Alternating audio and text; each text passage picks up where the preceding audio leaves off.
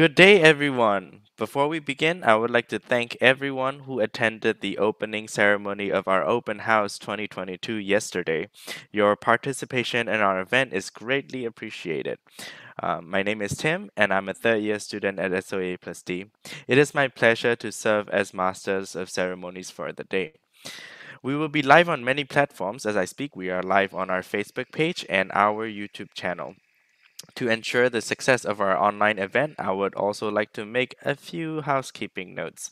I'd like to see if you can clearly see and hear us. Uh, please let us know immediately if you encounter any viewing difficulties. If you were here yesterday, we had some, and that is all right, and we immediately could fix them. Um, and so, thank you everyone who participated yesterday again. I would like to remind you that this online event is also being recorded as well. The Alumni Talk today is a part of the SOAD Open House 2022 event, which began on Saturday, yesterday. Those who are interested can review uh, review the recordings on our Facebook page and the YouTube channel SOAD KMUTT.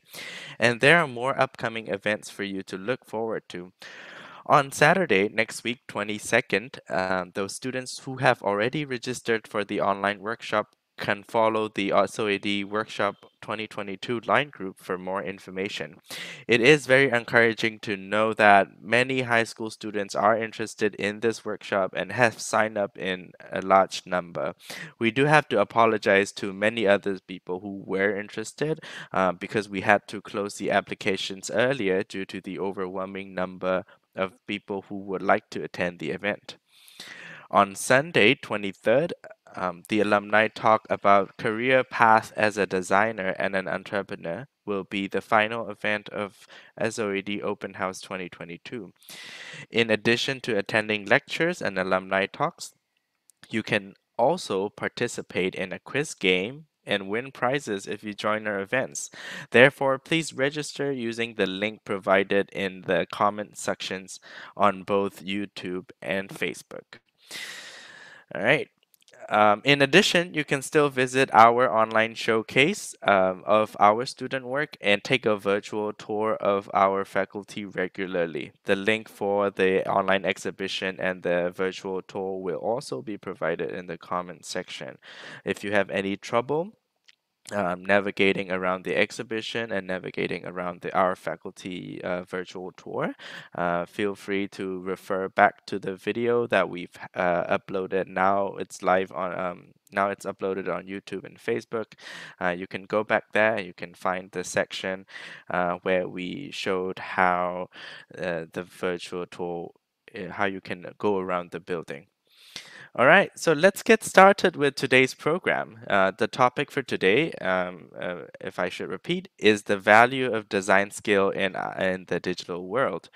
Um, nowadays, technology has advanced and is becoming increasingly active in our daily lives. As a result, there are numerous new trends and emerging careers, um, such as, uh, please take a look at this event, right? We are hosting an open house online. Uh, we have a virtual tour um, around our faculty building. Uh, we have an online exhibition. These are all um, fairly new to all of this. Uh, the, the digital world is adapting to all the needs that we have in our daily lives. And in this fast changing era, how can we as design students bring out our potential to develop uh, and adapt to everything? The question, without a doubt, has an answer, and we are delighted that our alumni have come to share their valuable time and experiences with us.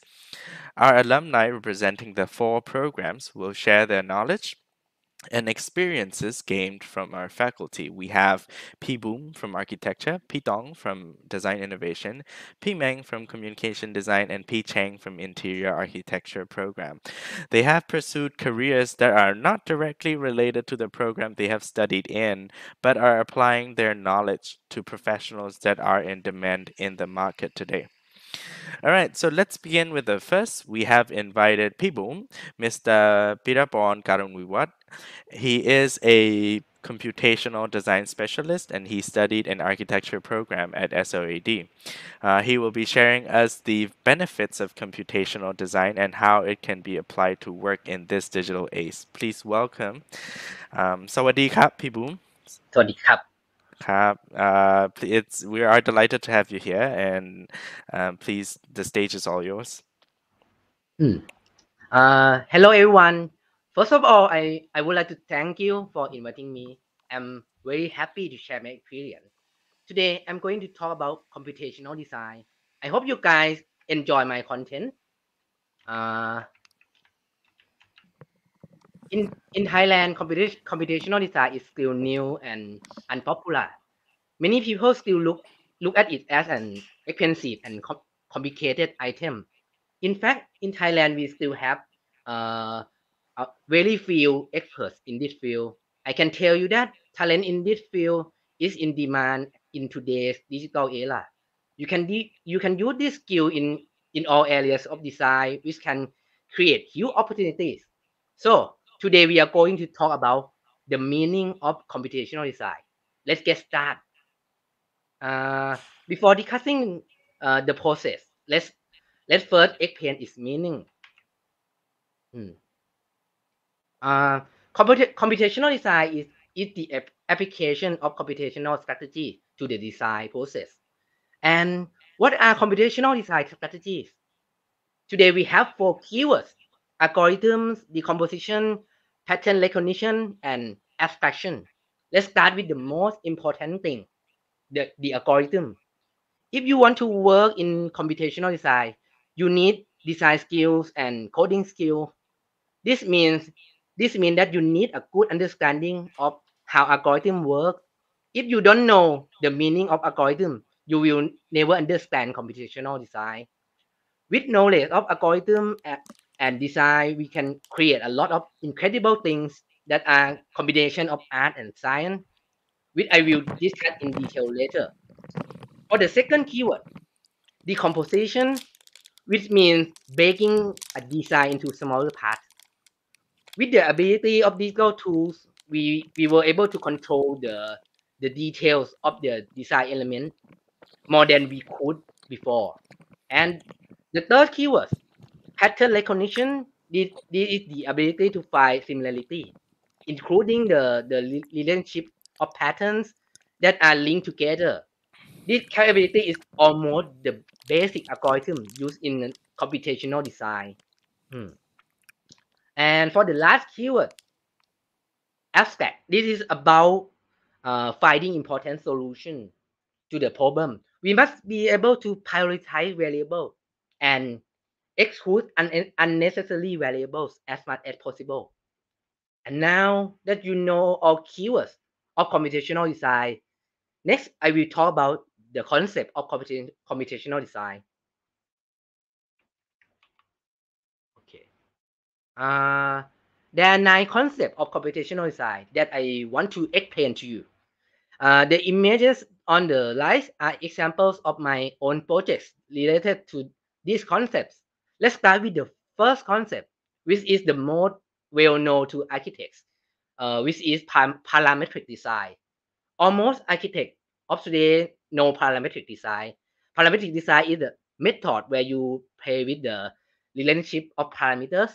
When all of variables are linked, you can control the changes in architectural elements, such as facade, building shapes, or building structures. And next, in the algor- algorithmic design section, we, we are going to play with mathematical equation. Uh, by, by creating this formula, complex model can be created in either two-dimensional or three-dimen- three-dimensional formats. And the third one, combinatorial design. This play with modifying the, the assembly of parts, most of which are in the form of connection of the structure. It's like when you're playing Lego. I think everyone used to play Lego, right? But for combinatorial design, you have Lego to assemble themselves using algorithms. The fourth, generative design. This allows you to produce as many models as you want. You can produce 10 models, hundreds of models, or even millions of models. that are completely unique but still have the characteristic of your design. The next one, evolutionary optimization. This is an example of uh, how how to find most effective form in a given area. For example, you can use an algorithm to find the, the strongest structural pattern or use an algorithm to, to find function overlapping pattern that result in the, the most cost-effective use. And six, computational analysis. This focuses on computational efficiency, such as environmental analysis. You can write the script to calculate the, the layout of the window, to reduce the, the heat in your building, or analyze the pattern of uh, opening in the building where the wind will flow best. And next, next thing, uh, form finding is a matter of finding the, the ideal form uh, based on the desired conditions. It's like you have to use algorithm to create an entire universe, entire universe of women, and and then write a script to set the condition to finding the most beautiful woman. So this is a matter of creating the universe and defining what we seek. And eight, machine learning. Of course, everyone know this. You can let it learn anything and apply to your design. For from uh, my my exa- example, I use it uh, to learn my own hand sketch pattern and have the computer create line pattern of structure based on my uh, drawing pattern. And lastly, self-organization. They focus on functionality, where you can let your computer design your floor plan according to the context. This con- this technique is suitable for projects with, with not too complicated functions such as uh, parking building or condominiums. So now, so now you understand the nine concept of uh, computational design. Next, uh, I will talk about the process. And here, and here's one of my workflow example from from my own experience, uh, in which the the actual work is is still possible in many forms. You will see that the the first step, the first step involves solving problems and creating formula. What kind of formula? Is it uh, uh, what what is created for? I will talk more about it later. Now, I now I want you to look at the the orange arrows that show the direction of the steps, and you can see that it can reverse at some stage. This is very rare to happen in typical design. For example, if you are in the construction process and and you want to go back and change the design, it it would be in, in instantly become like a nightmare. You you have to waste a lot of time and budget. But if you work in the form of computational design, you will able to go back and experiment with uh, the many adjustments you have made in the past, which greatly increase your uh, design opportunities. It's like you you can go back and fix the past and uh, what happened in the future will will change by itself. It's like it's like it's like we watching a sci-fi movie, something like that.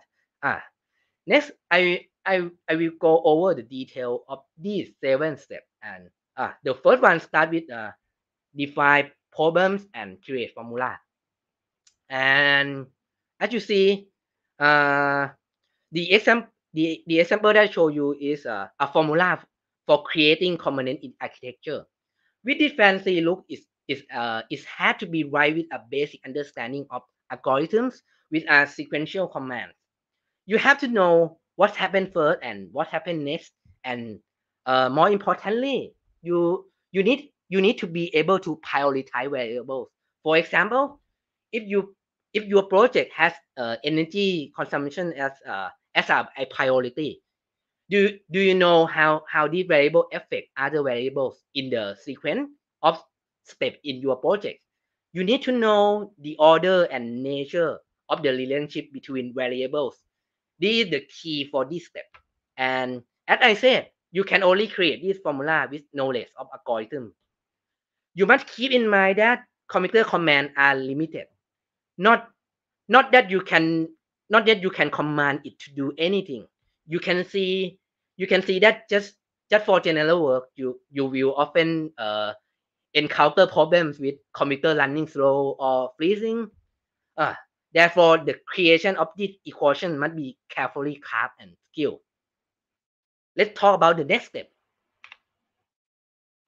Collect and analyze data to create simulation. Uh, this step is about how to collect the, da- the data and bring this data to to uh, display in different ways. Today is the age of big data, right? We, we have a lot of data and of course, algorithmic data analysis is, is very important. By analyzing this kind of data, it will it will lead to diff, uh, completely different design approach. You you able you be able to quickly divide true and false data and create simulation that makes it easy for you to visualize the relationship between things. Uh, from the example shown here, it uh, simulate the behavior of people in the building which, which will respond to the interactive panel where people density and user uh, user type are interested.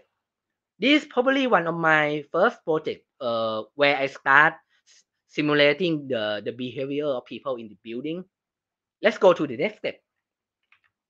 Step three. For this step is about the, the creation of the universe. It's a it's a simulate it, it a simulated universe created by algorithms. Uh, the most important thing is is probably the, the origin of the, the universe, which which is about the, the creation of the universe DNA. This synthetic DNA algorithm effect is affect everything that happen in the universe. This means that this means that the, if if the algorithm used to generate this DNA conflict by itself, it will it will result in numberless error throughout the universe. So it's quite difficult for for this step. Mm. After you create a a sim, simulated universe, that is the the boundary of uh, boundary of possibility. So you can classify species according to the patterns you interact in, which is like dividing the country of the world in, in which we live. It would, would take, well, take several hours to discuss this matter in detail. So I would like to briefly summarize something like this first. So let's go to next step. Hmm. And for this step, after you create a universe full of possibilities, from the last step, uh, of course there there there are too many choices and and and now you have to create algorithm to to help you decide what's best for you. In this step you have to understand the limitation of algorithm that they are not good at everything. Professionals know know exactly what computer can and cannot. Of course there are still something that computer cannot replace humans. Uh, that means we still have to bring humans to help make decisions together with computers until we actually until, until we can actually create uh, synthetic humans. Uh, my work example shows human and computer scoring with, with their own aptitude. Computers are good at calculation, while humans are good at aesthetic perception and intuition. Uh, at this stage, it shows the, the combination of art and science, which is still far developed according to human technology. Hmm. Let's take a look at the next step. Hmm. Uh, step 5, develop a solution from the selected models. This is one of my favorite steps compared to the previous step, which were both difficult and painful you you have to create an entire universe and and you have to analyze many possibilities you you have faced countless problems to get into this step. And of course this this is my favorite step. In this step you you will be focusing on the on the pattern you you you have already selected. And and once you you chosen just one you can develop detailed uh, architectural elements such as uh, stairs, windows, material, or simulate different types of practical application. I always love to develop details. One of my favorite details is the, the staircase design. I'm always excited to, to see a, a staircase design I've never seen before. I I and I always dream of uh, designing a unique set of stairs. From the pictures I I show here is a is one of my stair design. Many of my design remain confidential. Hopefully soon I, I will able to show those work to everyone. And we better go to the next step. Uh, for this step, uh, use computer simulation to calculate performance based on real world concept. The, we for this step, the focus is on real life performance testing, which, which we can choose the, the test topic and simulate on the computer. A, a popular topic is uh, environmental computing.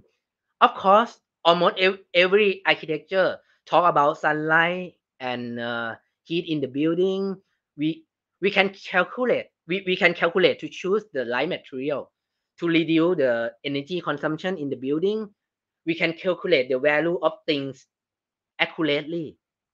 Uh, they are very cost effective on large projects as, as they can increase efficiently and reduce ongoing costs. And this is just an example. And uh, the procedure seen here is, is, is the standard commonly used in modern times.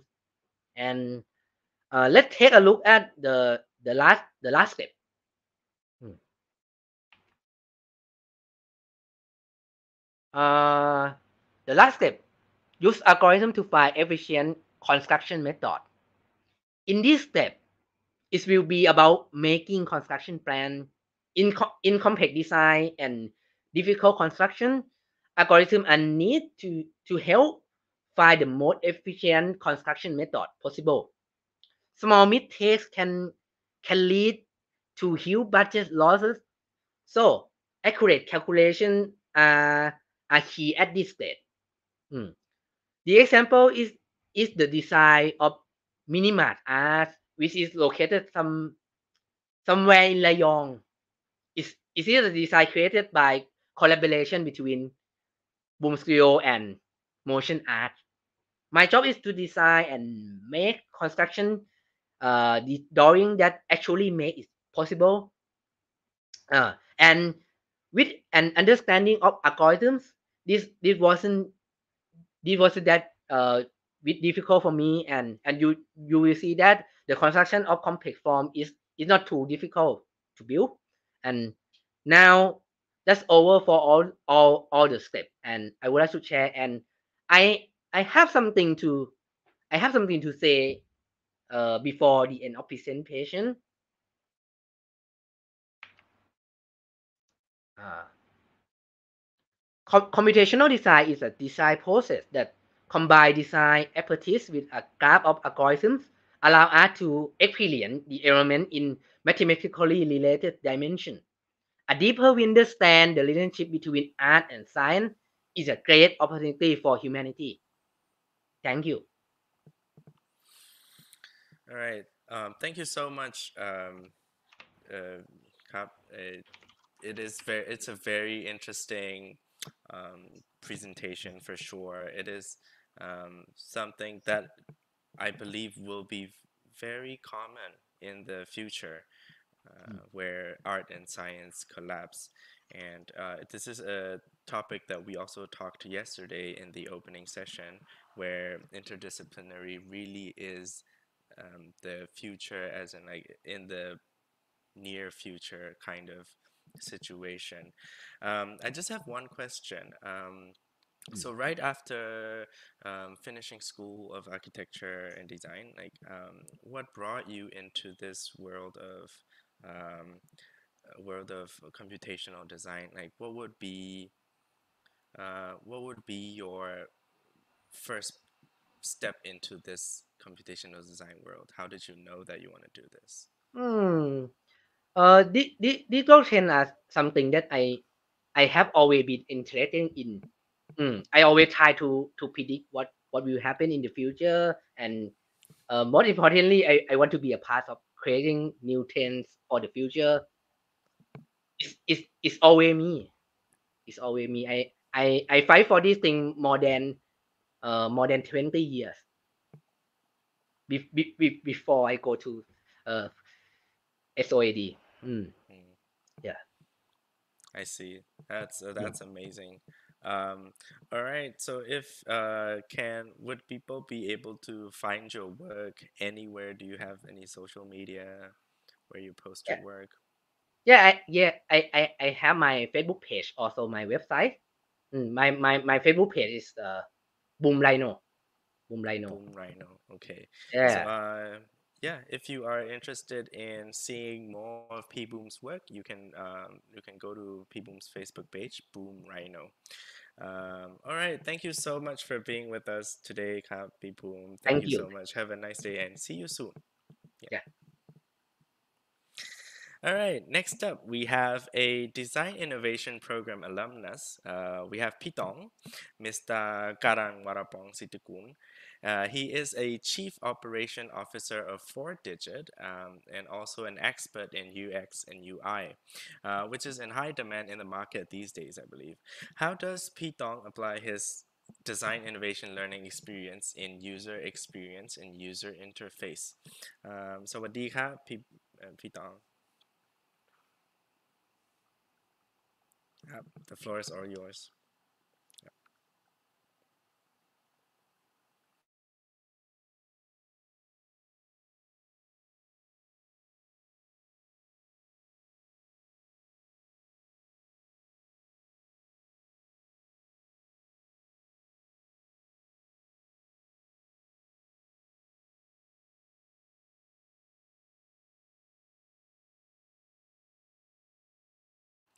Um, is everything okay, P Tong?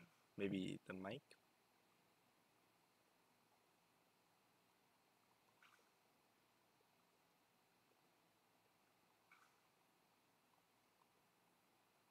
Hello, Kap?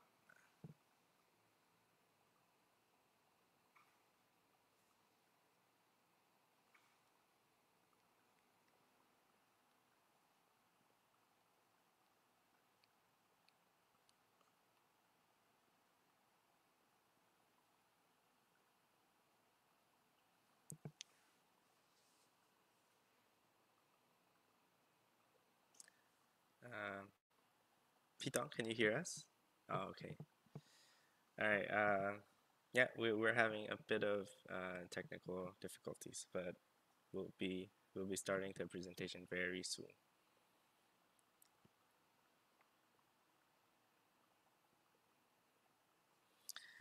All right. Um, well, uh, uh, to go back to the previous topic, um, I've also always been kind of interested in computational design. Um, lately, I've been trying out this uh, because I'm from communication design major. I like illustration and painting and etc. Um, and I've been trying this website where you can just type in some words. You can pick a theme, an art style, and you can type in some words, and you get a painting. That's all made by artificial intelligence, and that's just amazing. Oh, uh, P Tong is back with. Uh, is everything okay now? Okay, can you hear me now? Yep, yep, yep. All right. Okay, so Adikap, uh, properly. Okay, So, Sawadee Uh, Sorry, uh, there's the a little technical problem. Oh, it's it's all right. It, it it happens all the time. All right. Uh, thank you so much for being with us today. Uh, the stage is all yours. Okay, first of all, I would like to thanks everybody for letting me here. So, my name is Karun Warapongsittikul. I am the user experience specialist and the chief operations officer of Fourdigit. So, uh, after I graduated from SOAD in 2006, uh, on 2011, I start my first company called Pheromone, which doing the UI and UX things and the co-working space called Hubba Thailand. And in 2013, I established the UX Academy Thailand. And after that, three years after that, uh, I was nominated to be the Google UI UX expert. And two two years ago, uh, I merged my company with Fourdigit, which is the Japanese design company. So, which is my company right now. So actually, my activity from most of my time is building the UX community in Thailand uh, start multiple events and also be a mentor for for startup. And also, I have joined the Google Developer Expert community to become one of the the the expert in in the innovation domain. And this is me. Actually, my job at Google is to be the the mentor and to consult with many multiple company about you about user experience and user interface. And right now, I work for Fourdigit. Fourdigit is the digital experience consultancy company located in multiple countries such as Japan, Thailand, Spain, and Vietnam. So uh, at Fourdigit, we do the design and also we finding the solution for every problem that our client has by using digital and, and design. So,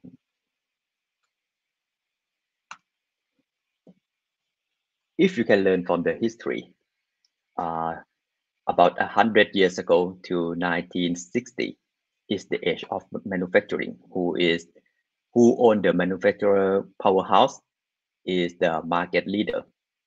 And after that, it's become the age of distribution.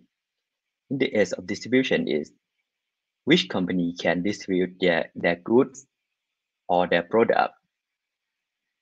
They will be the market leader. And about 20 years ago, it is the age of information. When the internet come to your life, when the internet is popular the information is linking anywhere. And after that is the age of customer, where the customer is king. The customer has power than more than more than before. So in the age of customer, the term of user experience become well known because everybody want to fo focus on their user, on their customer. And right now, it is the age of disruption the age of disruption is a time to focus to renew or remake something that doesn't work before by using design and inno and, and technology.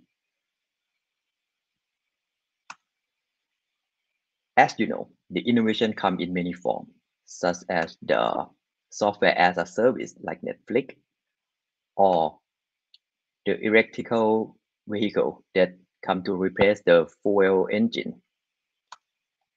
Or maybe something that use the artificial intelligence and automate process to remove the employee. So actually innovation is to deliver a real breakthrough rather than incremental or random improvements. So in this era most of the innovation pop up because the traditional industry boundary have dissolved and customer has more power than ever. The brand loyalty has less power and also the technology acceleration create a new way of operation process. So to create an innovation, you will have the an integrating cumulative experience from many people in your team, the creativity and understanding, and also the vision and culture and execution plan. And one last thing that cannot, and it is actually is the most important thing. Once Steve Jobs said, you have got to start with the customer experience and work backward to the technology. So coming to today's topic is about the user experience. the user experience is the totality of the effort or effects felt by the user as a result of interaction with and the user context of use, a system, device, product, including the influence of usability, usefulness, and emotion impact during interaction. So interaction with is quite a broad term and embracing, touching, thinking about the system or product, including admiring it and its presentation before any physical interaction. Most of my time the the problem of my design always start with how might we, such as how might we let children enjoy their meals? So if the question is like this, so is my job to explore and research about how people or how or how children enjoy their meal. What is the definition of happiness for, for children? What is the behavior? So most of the time, it's all about the activities, the behavior and emotion that we have to know to create a good experience for them. And like I mentioned before, the user experience is combination of multiple domain of expertise. So it's combination of art and science about the trial and error process, the testing process, the validation, and also the business thing. So all of these three combine into user experience. If we want to define a good user experience, it starts from the fundamental, which is the functional or the requirement. And then up to the latter one step, is the function is reliable or is the system performance is reliable. And after that, is it usable or is the usability is good enough? Come to the part of emotional. Is it convenient? Does the user journey convey a good experience to user? And also, is it leave a pleasurable feeling to the user? And one last thing is, is it meaningful or the benefit is fit with what user want? If we want all of this to complete the this pyramid, we need uh, an expertise that called the user experience design. The user experience design is a method to create a great experience to everybody who use our product by consider by user perspective, which is the underlying most important highest priority. We consider the user perspective. Let me give you an example. The fast food. Most of us experience a, a fast food restaurant before. So the fast food restaurant actually it has bad atmosphere. People yelling, everything is chaos. An ingredient is frozen. And we assume that it lack of nutrition. The chef is unskilled. You can you can hire somebody to train for 20 minutes to to cook for you and the food styling is bad. So we we assume that these are bad experience compared to the fine dining. The fine dining restaurant actually it has good atmosphere and an ingredient is fresh and also it we assume that it will be good for health so the chef will be high skill chef and also the food styling is beautiful. And then all of this concluded, we we assume that it has good experience. If we want to redesign the restaurant, should we change from fast food to fine dining? Should we conclude the problem into a solution without a user? What if our customer is this kid. What do you think they will choose between the fast food or the fine dining? So, yes, most of the people will say this kid will enjoy fast food. So, the user experience, we start not from the problem or solution, we start from the persona, which is the reflection of user. And after that, we research about what problem that do they have. And we came up with the objective of the design and a strategies and also come to the features. After that, we go to the solution. During the way, we always populate a question such as who has the problem? What is the problem? How will we solve this? And what will the solution achieve? And what features are required to accomplish the objective? And the solution, what will the product look like? All of these questions will be used to create a hypothesis or an assumption, and we validate it by testing. This question happen almost the time of the design process. So we can conclude that this process is the design thinking process. In design thinking process, we start from empathize the customer, empathize the user by conduct a research to develop an understanding of your users. When we understand user enough, we define by combine on all of your research and define the solution by ideate it as much as possible. We ideate multiple prototypes to test to find which one is the best, which one is the best fit for the problem, for the business goal, for the user. And after that, we implement it and launch it.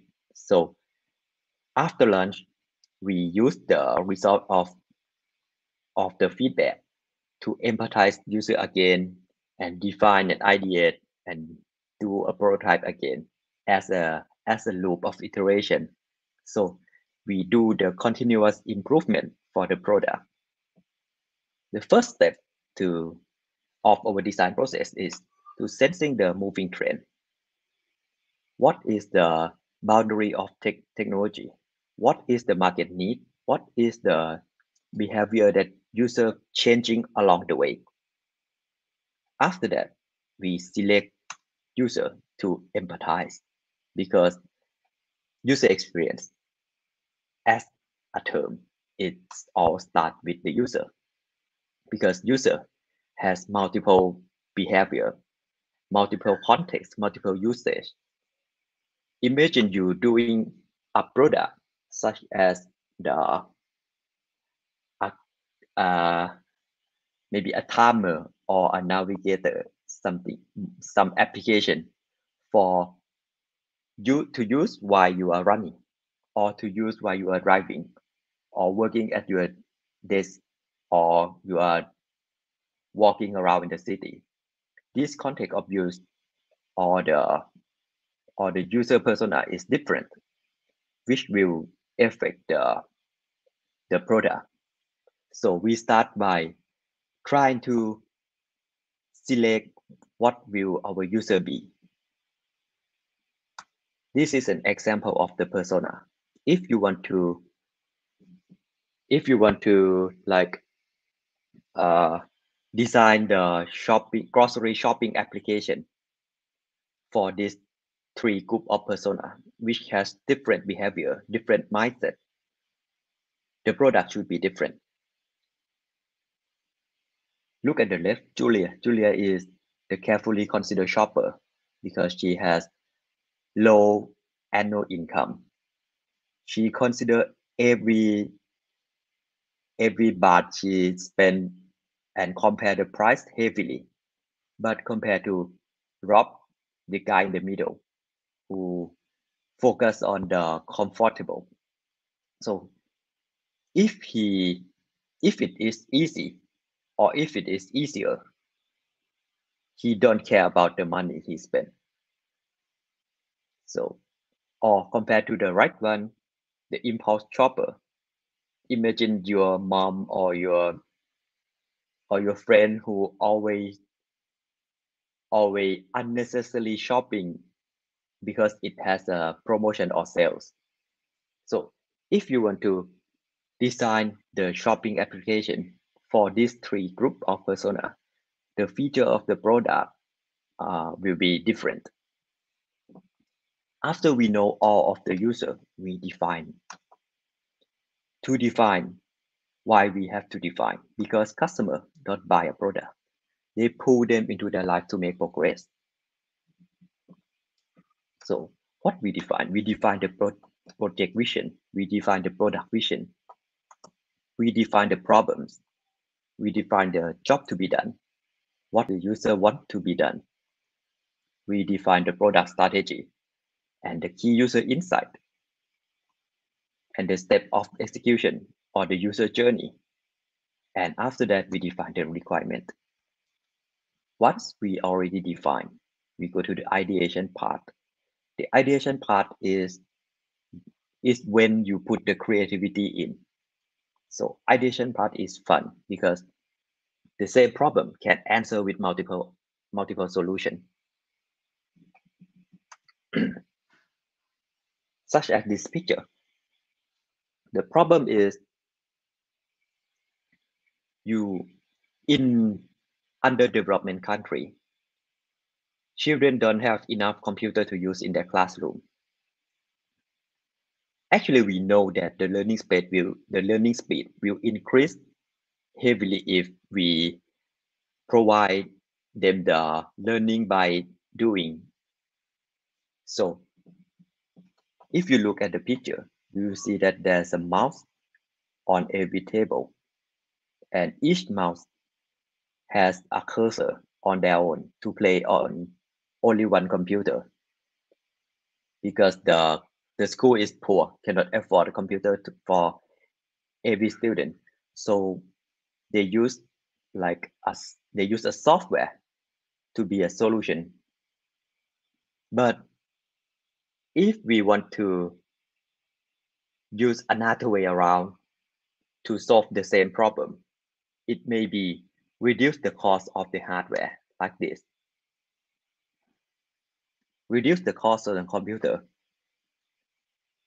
from metal to plastic from high specification computer to good enough specification so the children or the school can afford more computer for every everybody in the classroom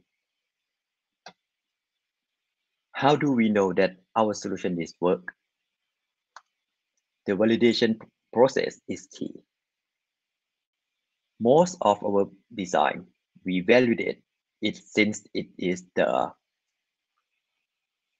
it is the at the initial stage like this one.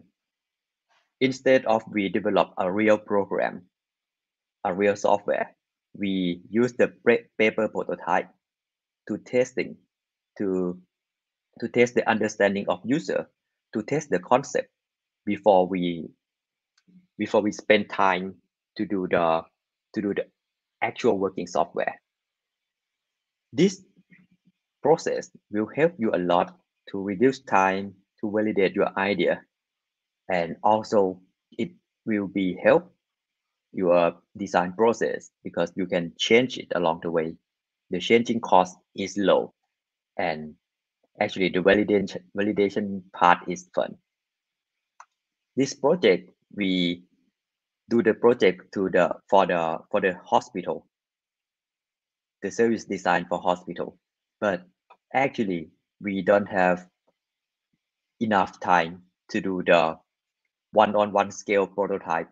So we make it like a board game to test our idea so this is how we design. This is our process. This is how we live.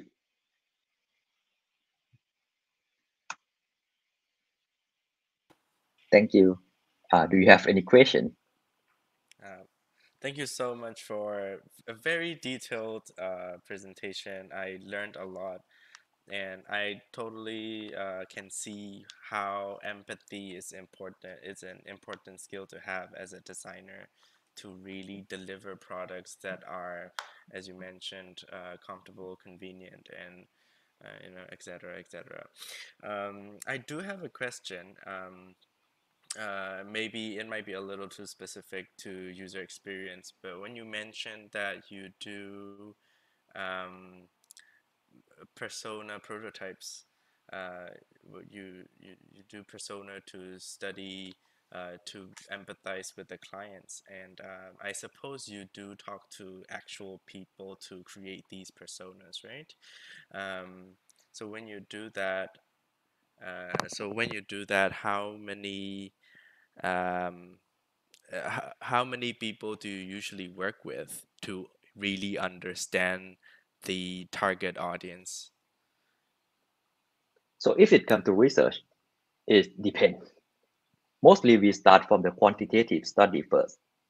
After we use the quantitative study, we can filter down the people and we do the qualitative study, like the in-depth interview with maybe five or 10 people to more understanding. So actually this, this is the process. Sometimes it can be 20 people, sometimes it can be 50, but most of the time we filter from a hundred or a thousand people from quantitative study. I see, I see. So that that would totally depend on the product itself as well. Yeah. All right. Um, okay. Thank you so much for a very insightful, very informative presentation, Cap. Uh, I also love that you referred back to the history of um, technology and uh, advancements and um, it's kind of unsettling to know that we're in the age of disruption um, but i suppose we're moving forward into a better future uh, so thank you so much for being with us see you soon in a bit ครับ thank you สวัสดีครับ all right um well, it was a very informative session. I learned a lot. I hope you learned a lot as well um, watching uh, P Tong's presentation. Uh, all right, next up we have P Meng, uh, Mr. Theerawat Klangjareonchai. Uh, he is a communication design program alumnus. Um, uh, P Meng is currently a media artist, and he will tell us what his life is like in the digital world of um, immersive experience. Uh, so please welcome P Meng. Uh, P Meng, ครับสวัสดีครับ uh, P Meng, your mic is muted. No, no, All right. Uh, thank you so much for being here. Uh, I am looking forward to your presentation. Uh, the stage is all yours. Hi, my name is Theerawat Klangjareonchai or P Meng. Like uh, today I'm gonna be talk about like the immersive design and let you know about like what is the immersive. So I will open your uh, experience to immersive my life as a my journey of doing my the studying.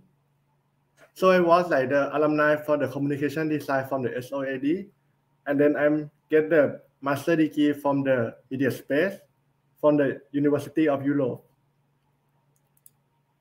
So like I think like all the all you may curious about like what is the communication design and how like the my life used to be in the during from the SOAD life. So let's take back to like the year that I'm still the student here. Like I think like this time of uh, learning here is like the make me learn a lot as a designer and it's not just only the from the knowledge but also the people environment and the staff here that give me as a me today. So like the first of my interest during the studying here like this is my work from the uh, year two. Like i'm interested into working with the photography and this project that like the aside from the ajahn that want us to find a relationship between Papadang and uh, Pak Khlong Talat. So we find that some of the relation that the immerse, uh, the relate between like the iconic of the vehicle in the two area of the space. And then like from the third year, this my work I'm still like interest working with the photography now, but in this year, I'm trying to learning more about the experimental photography and like to shift out the my thought from the design to like the more into like the experimental. I love to play with the time and the speed shutter. So then when I first uh, fourth year that I find myself I'm working with the video art, like the abstract video experimental, tying with the new material with the water, ink, and like the sound that and then I use the uh, camera to capture the to create my artwork and my art piece. So after my uh, bachelor, from my after I'm graduated from the SOAD, I'm working at a motion graphic, and then I'm start curious about like to working with the new media stuff, with the video art or like the projection mapping or the interactive design. So I'm take my journey to like continue my master degree to study in the new media design or the last name we call like the media space. That is not really new topic from in this uh, type of the learning. Like we have a lot, I have a lot of friends that had a different background from me from the bachelor. Like I have like the architecture student, fashion designer, interior, communication design, photographer, dancer to like come to learning together and start uh, here the project and try to experiment with the new media stuff. So like I have also working with the like this are some of my picture that during time in the Germany in Berlin. Like I'm explore with the virtual reality, projection mapping, and like the Kinect depth camera to get like some sense of the image and find out the new uh, new way of to hear the visual to explore my imagination. There is some of my project during study master there, like working with the VR. It's like the technology that you need to wear with the goggle, uh, uh, goggle, like the VR headsets. But now I'm trying to explore more to hear like the no sense of time that I'm questioning about the how the present of us as a human being in the digital way language. So I'm start like the working with the uh, virtual reality content and to project on the human body to hear like the some uh, that inside you, but you cannot like the people another cannot see. So now let's see some of the video of experience.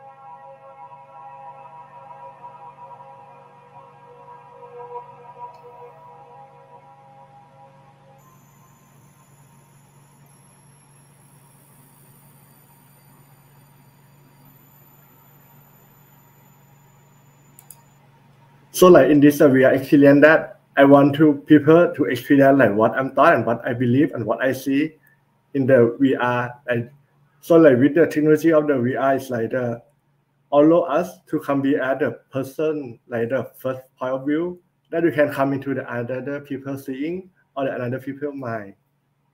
So like the I really enjoy to working with the virtual reality stuff. And then uh,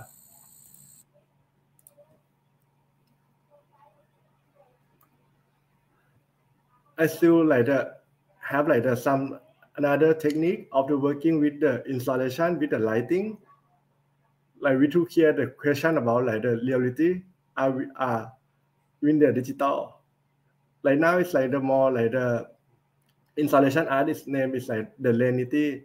That I want to hear like the immersive experience that we see the lane, we saw the lane and we feel the lane in the lighting experience so as like all the sculpture that I'm working with the LED strip and like with the sound and the mo- uh, motion. So like here the experience to feel the lens.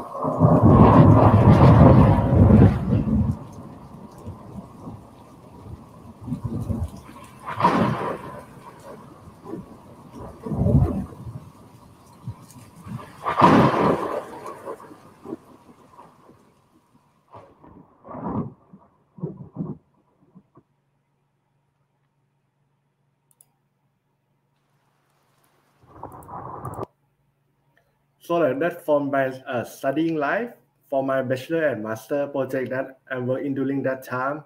So then like now I'm gonna continue with the, what my work experience and work life that now what I'm, I'm doing.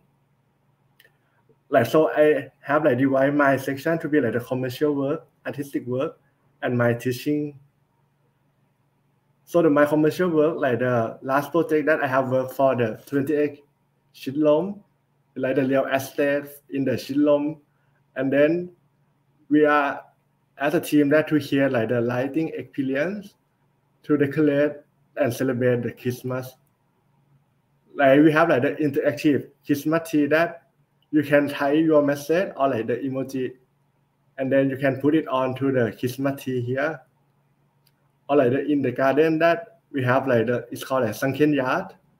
We have like the position mapping and the lighting to hear like the scene for to the get the immersed to the new kind of the space sense of the living.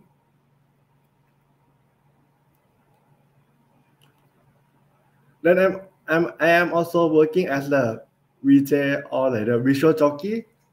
It's really popular now with the uh, live performance.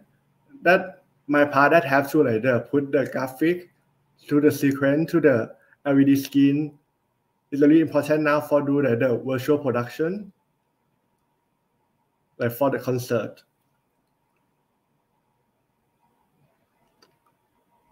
Then I have a chance to working for the uh, artist in Thailand. They call it the Team and Down for their opening album.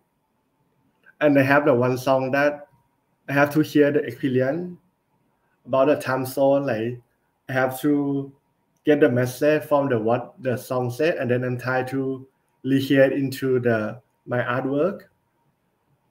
Like this call is like is it that the LED tunnel? That we I want to hear like the select that the people who come in here they can have customize they can put their memory or their image to the this tunnel. So let's see how it works.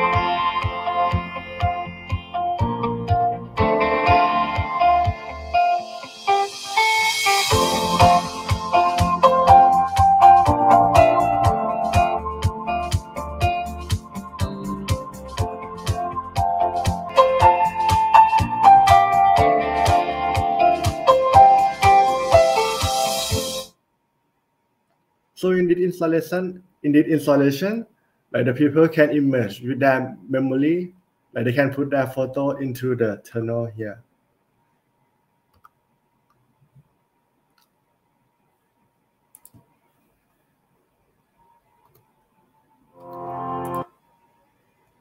So the other one, I'm working for like the sentence CPN.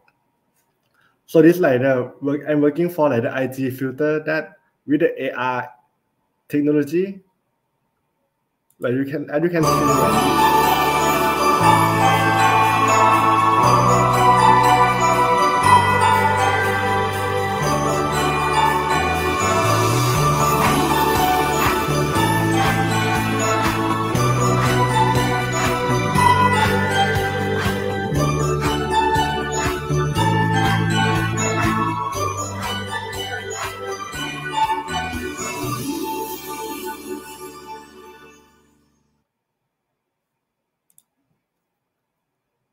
So like now you can see like the our artwork that then then on the screen only like we can uh, merge people with our graphic in the real time like with the IG filter or like the with the AR that we can have a box in the page for the people that can to come and take the photography and share in the social media.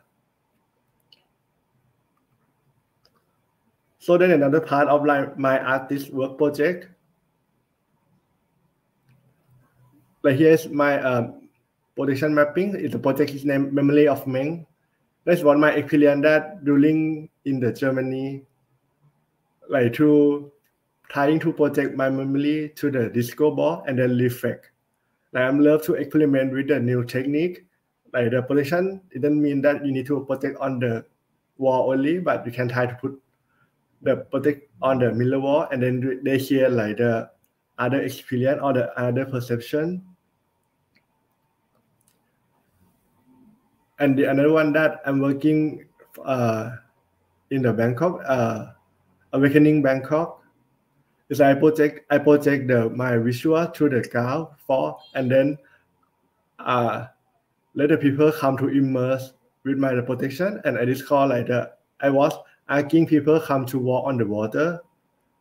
So that it's what the new kind of the technology that we can give the new perception for the digital media. Or you can like the project onto another surface that hear the new meaning of your art. And this one is also a project from the Awakening Bangkok. It's called a Sanity that I want to hear like the experience of the sensory experience to do the projection mapping and the smell in the room. Like the people can come in here and then experience the how lovely of the sun.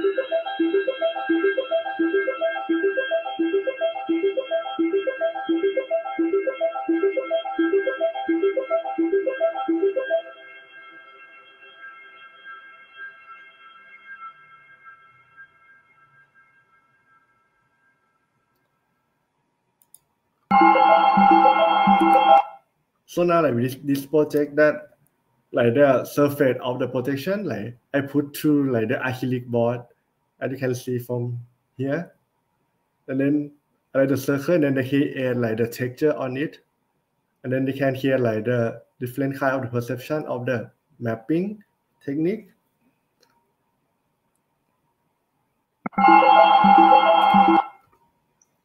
For the another part of me, like I'm now I'm working at the teaching at the part-time lecturer in the communication design. And this is some part of my student work through like the the poster that you see like it's not working with the Photoshop or like the Illustrator, but everything is happened by coding, like with the touch designer that like the uh, visual language programming that you can hear the image and the movement, the video, the really new technology that I think like the it's gonna be like thing that everyone should learn for the next generation of the designer. And then is you can explore more with like the some of uh, the exhibition. This is my third year student at the final project that they hear like the experience from the TouchDesigner that they use to like the to the 3D dimensional or interactive design and the visual mapping but they have like not in the real site installation. We have already like the Instagram exhibition. So this how the programming that look like from the process that I taught them to use. This called like the TouchDesigner and the visualizing program that you connect on the node node. and then they have like, the visual. So it's really useful too for the next generation of the media artists. Then I may have like the question, what, what is the immersive design?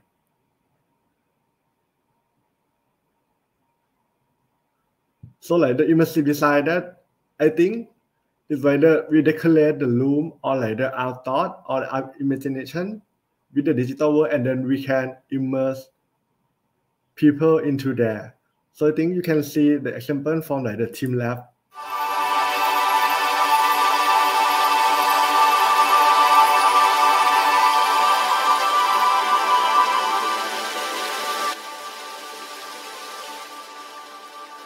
It's like it's bringing you into the nature, like the change the perception of the room, and hear a lot of scene.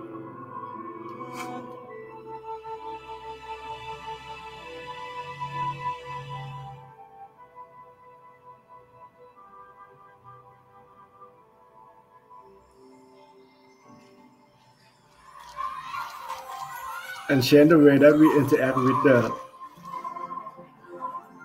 visual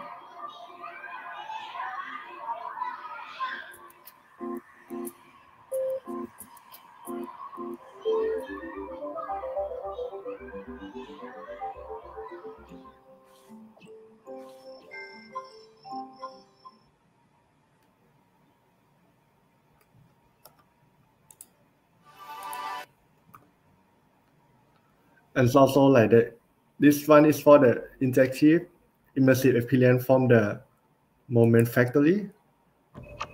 Moment factory is ready. Ready to connect you with the environment. With each other. In new ways. By exploding the interface touch.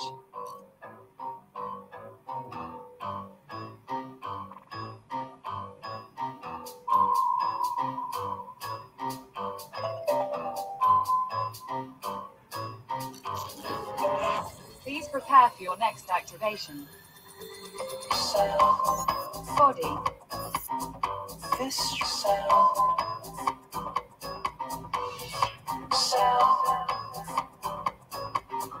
Portable.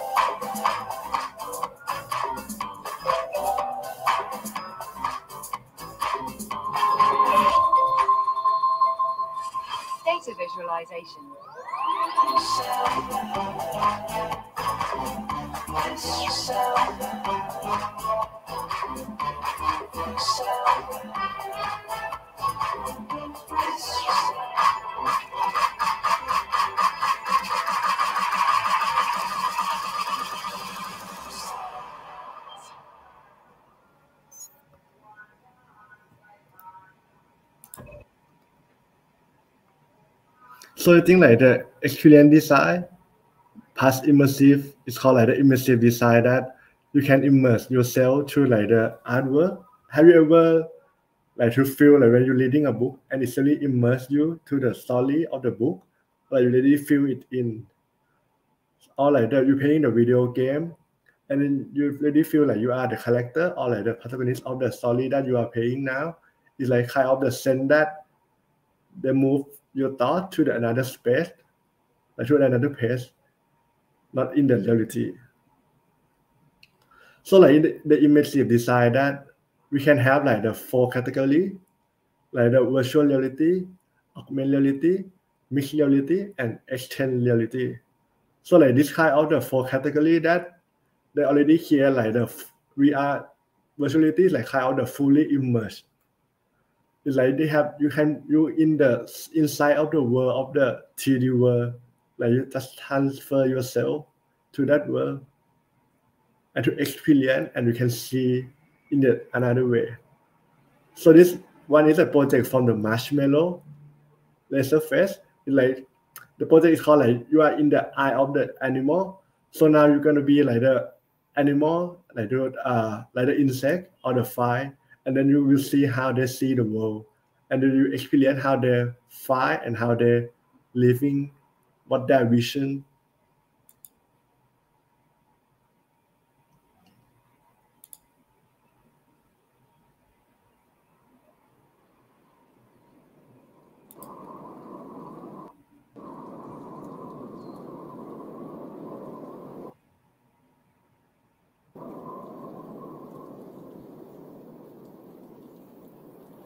fantastic.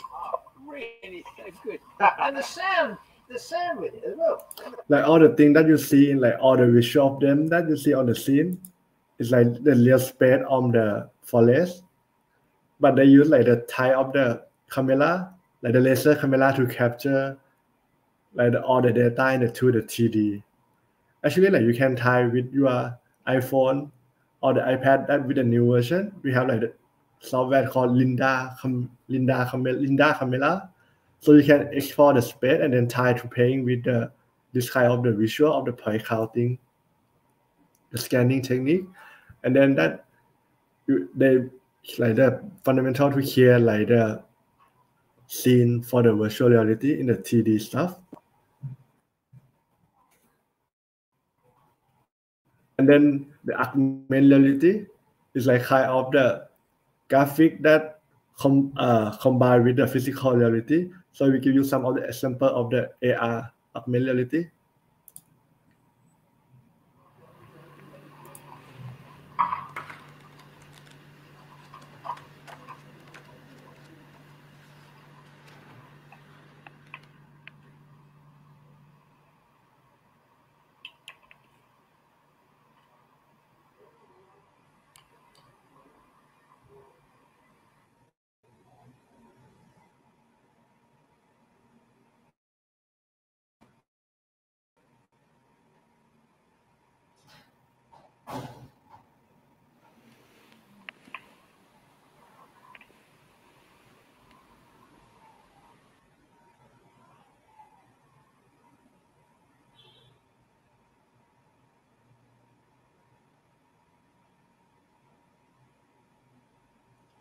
So like with the you can see like with the AR technique that you have to need to have like the device. We have like the Microsoft HoloLens or like the with the mobile version with the iPhone. You can scan through the image that you have, and then it's gonna be have like the something that happened in the your mobile device.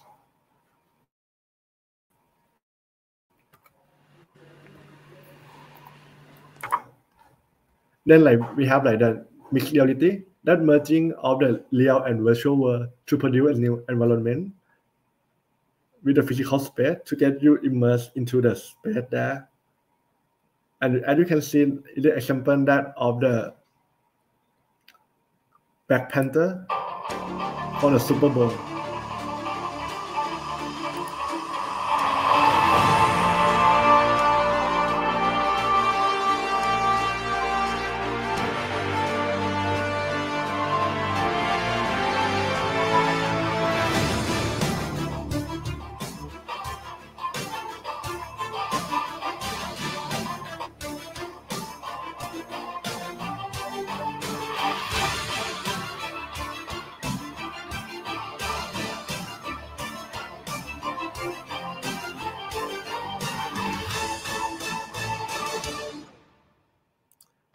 like the Black Panther one that you're gonna be showing live in real time at the broadcast, like when uh, for the people who watching the Super Bowl on the TV, but the real people on the stadium that they didn't see the Black Panther, but they will see on the screen in the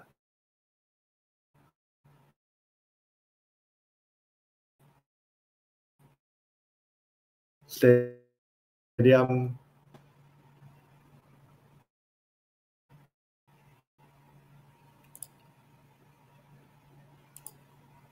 to it. To it.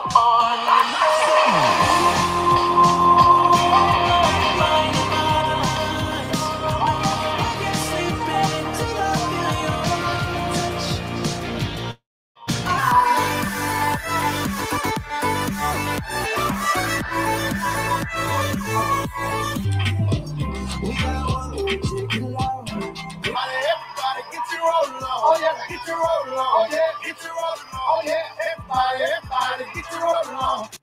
and this are within our new normal world it's like from the life experience To it. I would To it. feel you like for the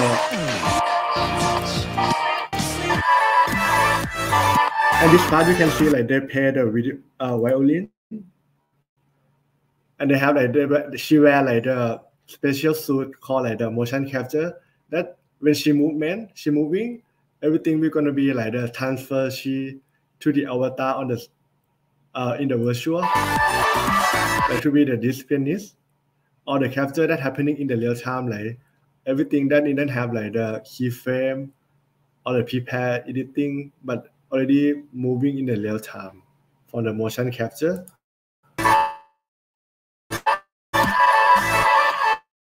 really get through like through the people to immerse the experience or like the performance that is like kind of the transfer into the real time and then we share the experience together during the new normal like on the pandemic section. Or like the this guy like he pay, he's singing. And then the avatar P like now are on the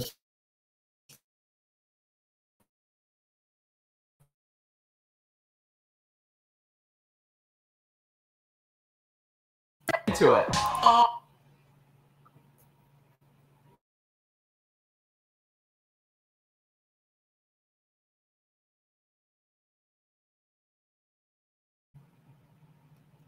this site really new. Like this combine all the fund uh virtual reality, augmented reality, and mixed reality together to the XR, like to the extend the reality that we have the stage, digital, and the performance.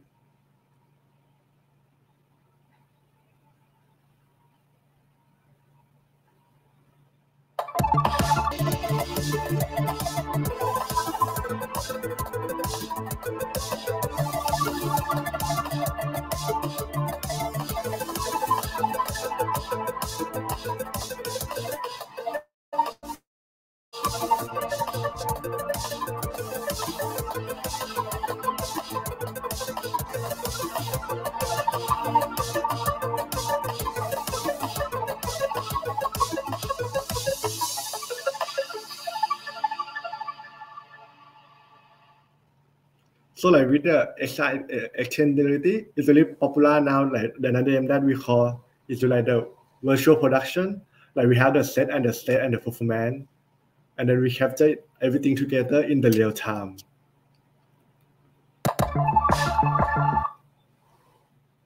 Like you can see from the broadcast.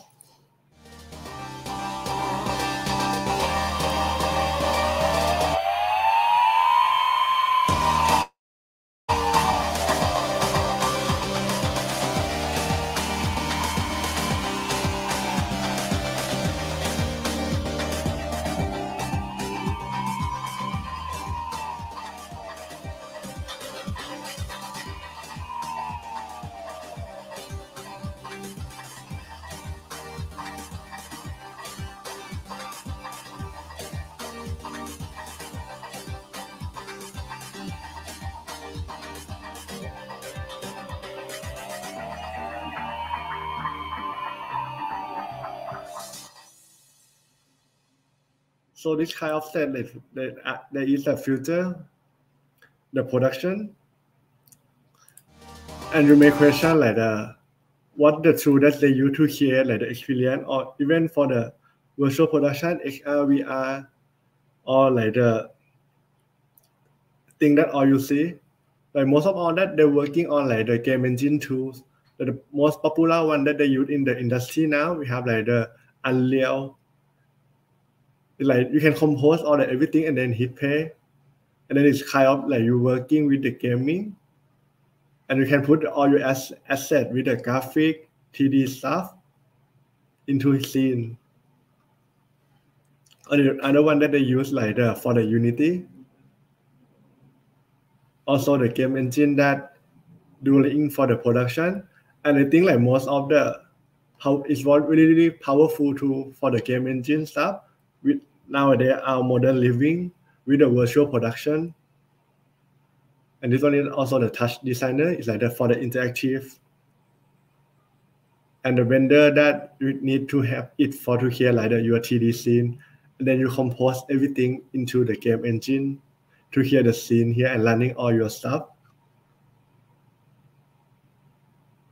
So I hope you have to get to know with the immersive design and get the experience more. So now I'm going to get to the section of the Q&A. Uh, thank you so much for sharing all of this um, really ex- um, impressive experience. I genuinely um, felt the chills with some of the work that you showed, uh, some of your work. I really like Rainity um, and Sanity as well. Uh, we have some questions from the audience. Um, uh, one of the question is, uh, well, we know that like um, both AR and VR has been um, used uh, a lot in in in the education sector these days. Um, now with COVID and, um, and and and everything going on, and everything is now online these days, and a lot of students are studying online. Um, do you? A lot of uh, education organizations are adapting to AR and VR as well, um, but uh, uh, for P Meng, you personally, is there uh, any idea that you want to implement in the education sector to improve during this COVID online learning periods? Oh yes, I think that for the AR and VR, it's like really important for us to need to learning for the programming stuff like the creative code or the and I think like all you guys will have the question that oh how how should you how should I get started to working with this? It's a lot a lot of like the programming stuff and it's so hard. But I want to give you the truth that it's not hard. Like you just need a lot of time to working on it. And now we have like a lot of tutorial you can find on the YouTube channel to get to there to like your self-individualing to self-studying if you already get into it. So there are a lot of tools and most of the software that they have is all free and they already have the resource that you can get easy to working a lot with it. Yep. Yeah, yeah. Of course. Uh, I think that that would be really helpful. Um, another question that we do have is a. It's about. Uh, it's about the artistic works that you mentioned earlier. Um, How do you develop your ideas? How do you um, how do you go from uh, the concepts and to, into the actual work? What what is your work process is like usually? Ah, yeah. Actually, like this is my secret that I'm getting from the learning from the communication design student at the SOAD. I think like since us in the first year that we have to learn like the design fundamental, and like we come from the thing really abstract from our researching, and then we develop, and then we get the concept, and then outcome, and then it's like I still use this as all the key learning of me to like to keep continue even I will start doing uh, the new project, I will like get to the research, like what is uh, my obsession, what if I'm interesting or what I had a passion, uh, passion on it. So these are a really important process that I'm learned as a communication design student in the SOAD. well, yeah. Uh, now that you've shared our secret, um, people won't be joining the school anymore. I'm just kidding. All right. Uh, thank you so much for sharing this. Uh, I really enjoyed. Um, uh, knowing more about learning more about immersive design i will definitely be looking forward to your work uh, in the future as well and um, i am now motivated to uh, learn more about immersive design and try it myself as well. So thank you so much for being here with us. Uh, Sawadee Kap, and uh, we will see you soon. All right. Uh, last but definitely not not the least, uh, P Cheng, Miss Luxixa uh, Lugsiga Siwamongkholkul. Um, apologies for the mistake. Uh, alumna from the Interior Architecture Problem. She is the owner of the popular YouTube channel Lucky Tree, and uh, it which has over 800,000 subscribers. And uh, how did P Cheng use her knowledge and creativity to create such interesting content? And we're gonna find out soon. Uh, unfortunately, uh, because P Cheng is not available to attend our activities today, she sent us a pre-recorded message in which she presented and shared her experience with all of us. Um, you can contribute questions to this session via the YouTube chat boxes and as well as the comment section on uh, live on Facebook page. Uh, our team will gather and coordinate with P Cheng to respond um, to your questions and comments if there are any. Uh, all right, so let's uh, watch the talk together. The P Cheng. สวัสดีค่ะ I'm Cheng you guys can call me P Cheng I graduated from interior architecture program for many years I can't even remember how many years uh, let's start with after I graduated from the university. I work with my family business. It's almost like my duty to carry on my family business. Uh, and after a few years i feel like i miss the design. I miss creative thinking because we spent uh, five years in the design school growing and developing our creative thinking. But after graduated i rarely use it in daily life. Uh, i can say that you know my family business my parent is a baby boomer generation. The the boomer hate changing.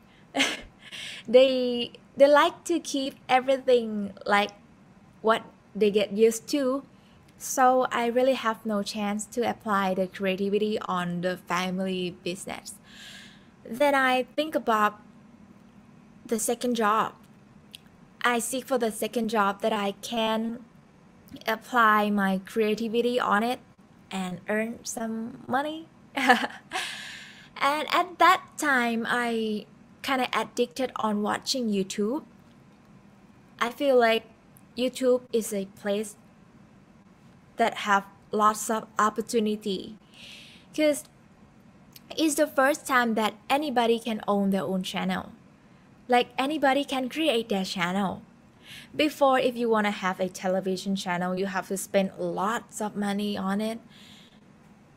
But now you can you can have your own channel. You you don't have to spend any money on it. It's free. And you can upload any type of content. You can you know as long as it's not violence it's no uh no sex no drug uh, it's almost like a common sense, you know, as long as you create a polite and clean content, it's fine. And I, I, at that day, I have an idea that popped up in my mind that ignite inside me. like, what if I create my own channel and, you know, having fun with it, explore with it, throw some idea spend some creativity on it it's fine if that channel cannot make any money but at least at least it could be my playground that i can throw my creativity on having fun. And yes, I start to create my YouTube channel that day. At the very first phase of my YouTube channel, I I yes, I having fun with it. I do every type of content. I do singing, I do gaming, I do cooking, I do exercising, vlogging. Cause I wanna having fun throwing some idea on it and also exploring the platform. Cause at that time I don't have that much information about YouTube. I don't know how the algorithm work. I don't know what type of people watching YouTube. I don't know that okay if I what if I create this type of content will they like it or will the platform will the algorithm like it? I really don't have that much information so I just exploring like experiment with myself and also with the platform. After that i see some opportunity. I see some opportunity that this could this could be a job. I can develop my youtube channel to be a job then i start to take it serious i start i start to think about it serious i start to organize and i start to apply some design process on my youtube channel Yes, I design my channel like I design a brand.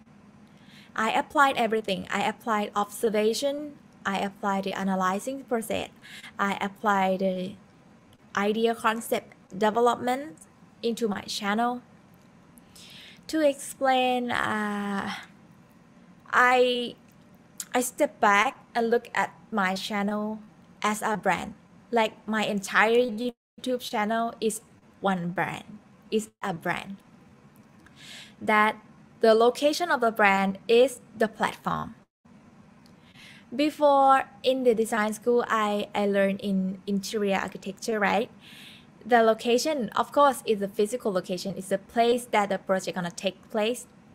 But now is the is a media, is the online media. So the location is gonna be the platform that I uploaded the content in. So location is YouTube. I have to observe the YouTube. I have to observe the platform. I have to understand the algorithm that okay, what is the rule? What kind of the content they like?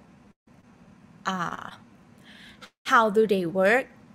How do people see the clip how do they reach the video and how oh there's so many detail. If i talk in detail it's gonna spend it's gonna take so long. So i will try to explain it shortly. I have to understand the algorithm and i have to understand the user that get into the youtube because they are the audience. We have to understand how many type of user that come into you to the YouTubes. As same as we design project. Now you see some picture, now you see something. We also have the site, we also have the location, we also have the user, and we also have a product. We have we have a brand, we have a concept, we have an objective.